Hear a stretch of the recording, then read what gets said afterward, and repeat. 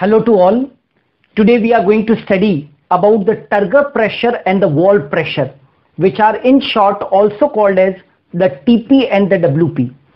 These two concepts are very important to study the other physiological concepts such as the DPD and the water potential. When we study the diffusion pressure deficit that is the DPD and the water potential WP then in that cases we have to use the TP, WP and OP concepts.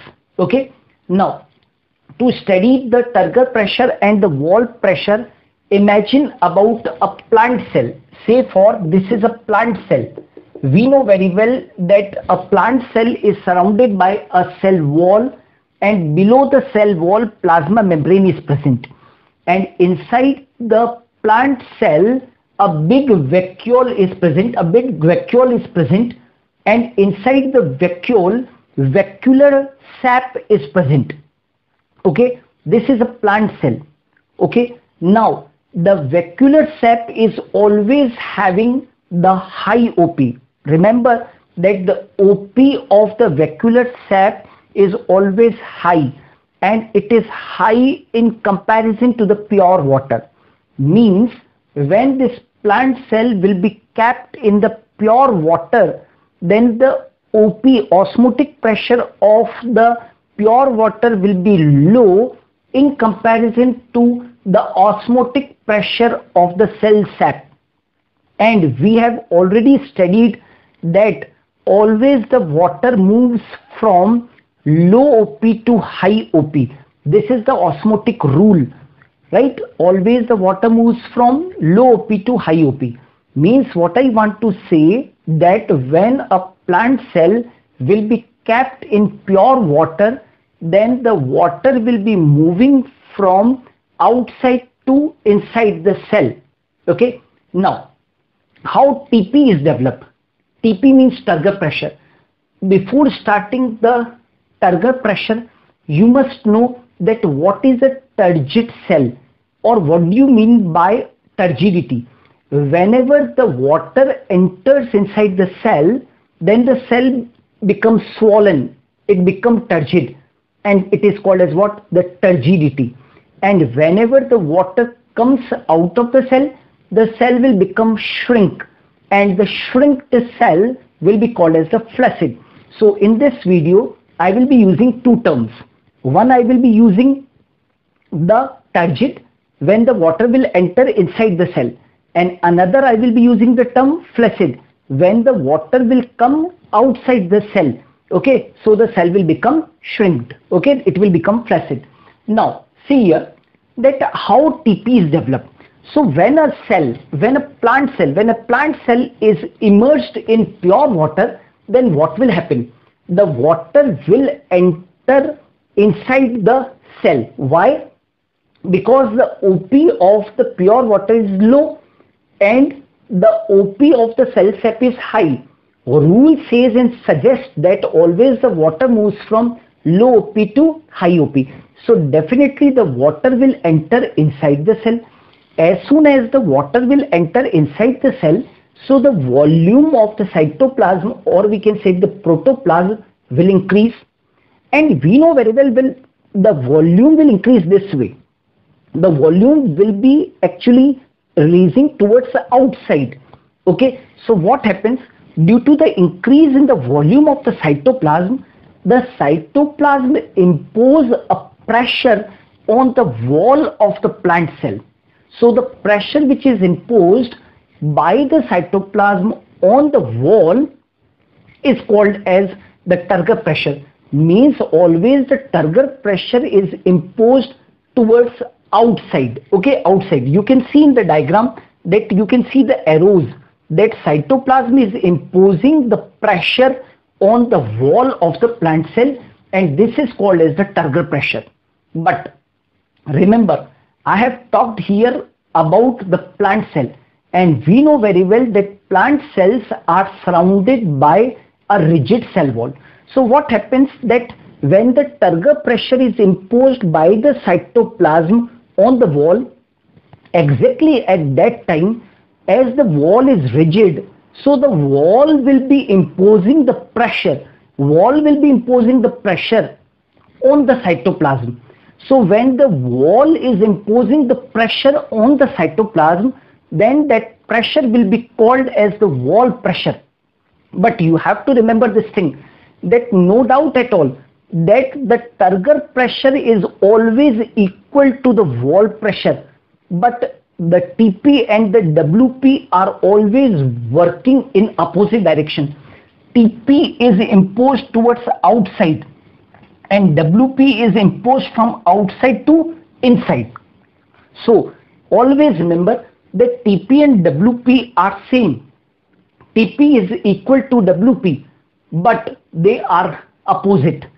TP is imposed outside and WP is imposed on the cytoplasm that is inside. So we can say that the TP is balanced by, always remember in a plant cell, TP is balanced by an equal, by an equal but opposite pressure imposed by the rigid cell wall on the cytoplasm and that's why it is called as the wall pressure. Now one thing to be remembered here is that that wall pressure is only present in the plant cell. In the animal cell as the wall is absent so the wall pressure will be absent. And we can always say that TP is equal to WP in the case of the plant cell.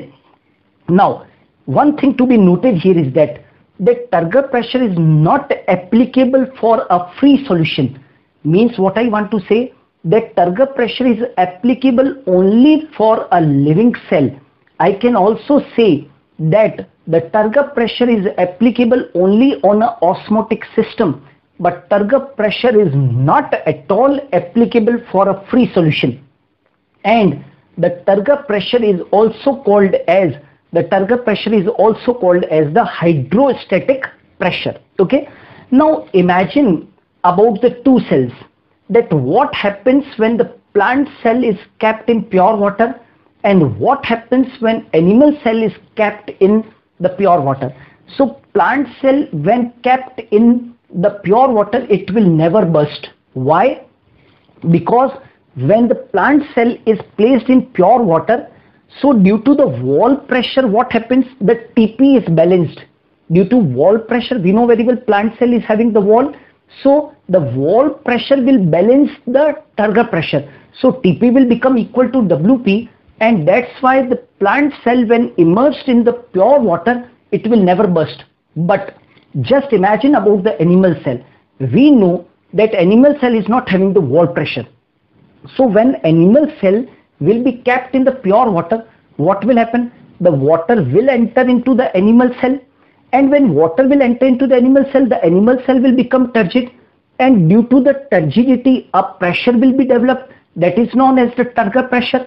Okay? But to equalize to balance the turgor pressure wall pressure is absent. So what will happen? The turgor pressure will regularly increase in the cell and the time will come when the cell will first swell and ultimately it will burst. Say for i am quoting an example of the rbc imagine about the rbc rbc of human is an animal cell when rbc many times this question is asked in the various medical examination that what will happen when RBC is kept in distilled water. So distilled water is 100% pure water. So when the RBC will be kept in the pure water, so what will happen? TP will be developed because the water will enter, then it will become turgid, TP will be developed and due to the regular increase in the TP, the RBC will swell and it will burst because it doesn't have the cell wall. Okay. Now, few more points about the TP. The TP of a flaccid cell. Just now I have talked about the flaccid cell. What is a flaccid cell? A cell from which the water has exited out. A shrinked cell is called as the flaccid cell. So TP of a flaccid cell is always zero. TP of a flaccid cell is always zero. And the highest value of the TP and the WP is found in a fully turgid cell. Means what I want to say? That in a flaccid cell, the TP is zero. But in a fully turgid cell, but in a fully turgid cell, the value of TP and WP is highest and it is always equal to the osmotic pressure. What I want to say, in flaccid cell, the TP is zero, but in a fully turgid cell, TP is maximum and it is equal to the osmotic pressure. So in a fully turgid cell, we can say that OP is equal to TP. OP is equal to TP. TP means turgor pressure and OP means osmotic pressure. So I am talking about what? I am talking about the turgid cell. In a turgid cell, in a turgid cell, OP is equal to TP. Now, one more thing that the value of TP is normally from 0 to in between the osmotic pressure in a plant cell. Say for in we know very well that TP of a flaccid cell is 0 and TP of TP of the turgid cell is highest and it is equal to OP. So what I want to say, the value of TP is normally from 0 to in between the osmotic pressure in plant cell. Means the value of TP is from 0 to OP. It is in between the 0 to the OP in a plant cell. Just now I am strictly talking about the plant cell only. Okay. Now the value of TP is assumed as negative in a plasmolysed cell always remember in a plasmolysed cell, in a plasmolysed cell, the value of TP is assumed to be negative. Why negative? Now, first of all, you must know that what is a plasmolysed cell. Okay, just now I am giving only the definition of the plasmolysis. For the details, you can view my next video, which will be based on the plasmolysis also. So what is plasmolysis? Now imagine here you have kept the cell in pure water when a plant cell is kept in pure water, water enters in the cell. But when a cell is kept in hypertonic solution, highly concentrated solution, the water comes out of the cell. Means the protoplasm gets shrinked and such a cell is called as a plasmolysed cell. So what I want to say that in a plasmolysed cell, the TP is negative. This, this question is asked in exams that TP is negative when. So TP is negative when the cell is plasmolysed. Not only this, nowadays TP is also called as, nowadays TP is also called as psi P means turgor pressure is also called as pressure potential psi P. We denote the pressure potential by the sign psi P and always remember the psi P is positive. Psi P is having the positive value but always remember psi P is negative psi p is negative in a plasmolysed plasmolysed cell because just now I have said that in a plasmolysed cell TP is negative. In a plasmolysed cell TP is negative. Now we are saying TP is also called as p. So definitely p is positive. But in the case of the plasmolysed cell, the p will also be negative. Now let's have a look on the significance of the turgor pressure. Significance of the turgor pressure that what is the significance of the turgor pressure.